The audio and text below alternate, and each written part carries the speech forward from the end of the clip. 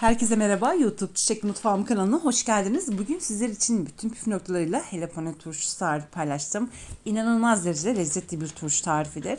Ve de aynı zamanda yapımı da çok basit. Deneyen herkes eminim çok beğenecek. Yemeklerin yanında 10 numara oluyor diyebilirim sizlere. Eğer bu yöntemle yaparsanız çıtır çıtır olacaktır. Bütün püf noktalarını bu videoda izleyeceksiniz. Bu arada eğer hala kanalıma abone değilseniz abone olmanızı, bildirim zilini açmanızı ve bu videoyu sonuna kadar izlemenizi önemli rica ederek hemen tarifime başlıyorum.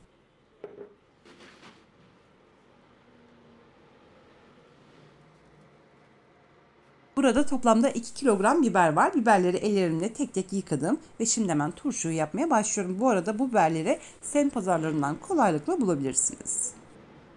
Malzemelerimi hazırladım. Hemen şöyle göstermek istiyorum. Her zaman olduğu gibi malzemeler listesinin açıklamalar kısmına tek tek yazacağım. Bu arada beni hangi ülkeden izliyorsunuz veya hangi şehirden izliyorsunuz yorumlar kısmına yazarsanız çok mutlu olurum. Şimdiden herkese teker teker teşekkür ediyorum.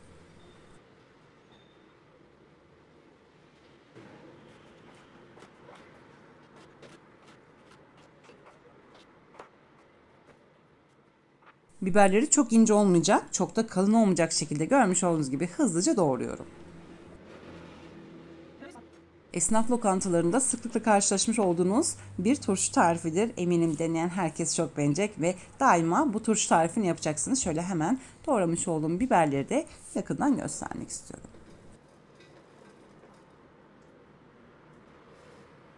Biberlerin tamamını hızlı bir şekilde doğradım. Şimdi hemen turşu yapımına başlıyorum. Etli bir biber olduğu için turşusu inanılmaz derecede lezzetli oluyor. Dediğim gibi esnaf lokantalarında bu turşuyla sıklıkla karşılaşabilirsiniz. İnşallah en yakın zamanda sosunu da yapacağım. Onu da yine YouTube kanalında yayınlayacağım. Turşu tarifim için orta boy büyüklüğündeki kavanozları kullanacağım ve ölçüleri de bu kavanozlara göre vereceğim. Ben kavanozları steril etmiştim ama yine kaynar sudan geçiriyorum ve hemen biberleri kavanozlara doldurmaya başlıyorum.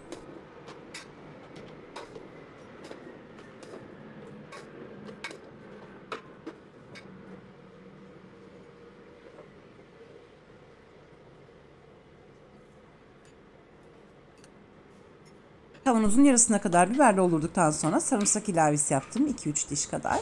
Ve birer çay kaşığı toz şeker ilavesi yaptım.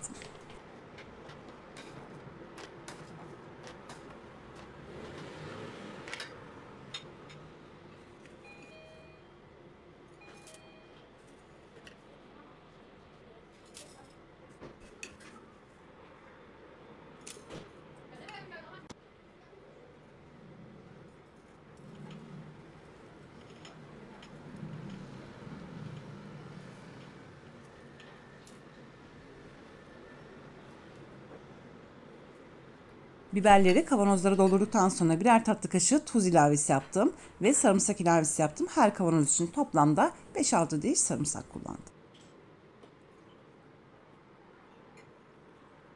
Yine her kavanoz için toplamda yarım bardak üzüm sirkesi, 1 yemek kaşığı zeytinyağı ve ardından da birer yemek kaşığı olacak şekilde limon suyu ilavesi yaptım.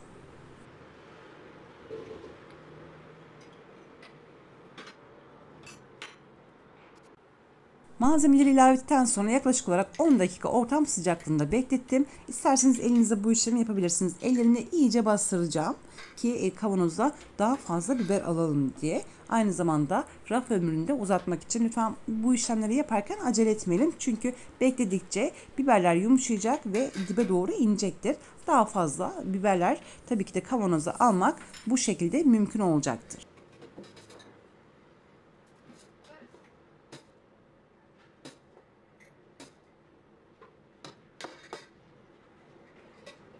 2 kilogram biberden toplamda 5 tane orta boy büyüklüğünde kavanoz çıktı. Görmüş olduğunuz gibi yumuşadıkça yine kaşığın tersiyle bastırıyorum ve üzerine de biberler ilave etmeye devam ediyorum.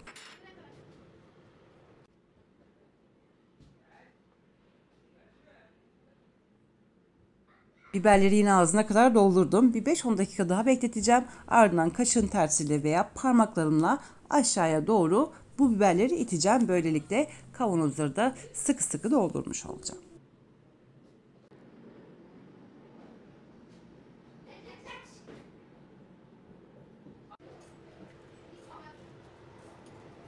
Ve kavanozları görmüş olduğunuz gibi sık sıkıya doldurdum. Son olarak birer tutam tuz ilavesi yaptıktan sonra içme suyu ilavesi yapıyorum. Buradaki en önemli püf noktası içme suyunun mutlaka hazır olması gerekiyor. Yani arıtılmış su lütfen kullanmayalım veya kuyu suyu bu tarz suları kullanmayalım. Mutlaka hazır olması gerekiyor. Çünkü gerçekten de turşuyu daha diri tutuyor. O yüzden mutlaka suyun hazır olması gerekiyor. Suyu ilave ettikten sonra yine biraz daha bekliyorum ve kaşığın tersiyle bastırıyorum ki biberler iyice aşağıya doğru insin ve su yüzeyde kalsın diye. Gerçekten de bu işlemler çok önemli. E, sadece birazcık beklemeli olacak. E, birden eğer ağzını kapatırsanız boşluklar olur ve turşu da hızlı bir şekilde bozulmaya doğru gider. O yüzden böyle yaparsanız çok daha iyi sonuçlar elde edeceksiniz. Tabii ki de turşuyu da nerede saklayacağımız çok önemli. Karanlık ve serin bir yerde saklamamız gerekiyor. Bu çok önemlidir. Kavanozun kapağını açtıktan sonra da buzdolabında bitene kadar buzdolabında muhafaza edebilirsiniz.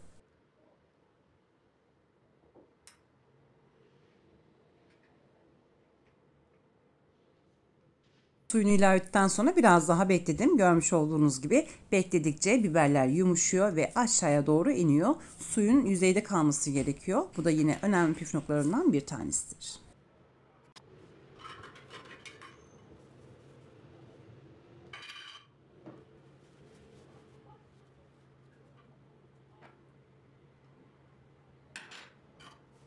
Ve artık turşularımız hazır. Şimdi kavanozların kapağını kapatmaya başlıyorum.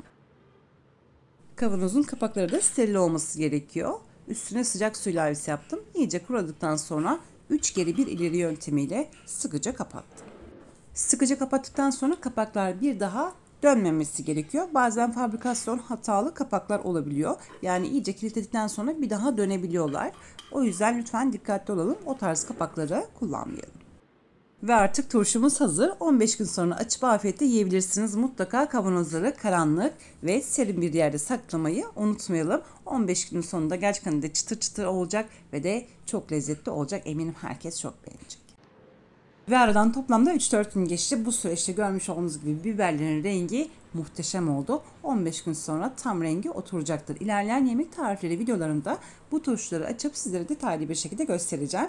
Ben de böylelikle bir videoyu da burada sonlandırıyorum. Umarım bu turşu tarifi videomu beğenmişsinizdir. Sizlerden gelecek olan mesajları sabırsızlıkla bekleyerek şimdilik vedalaşıyorum. Yarın yeni videomda tekrar görüşmek dileğiyle.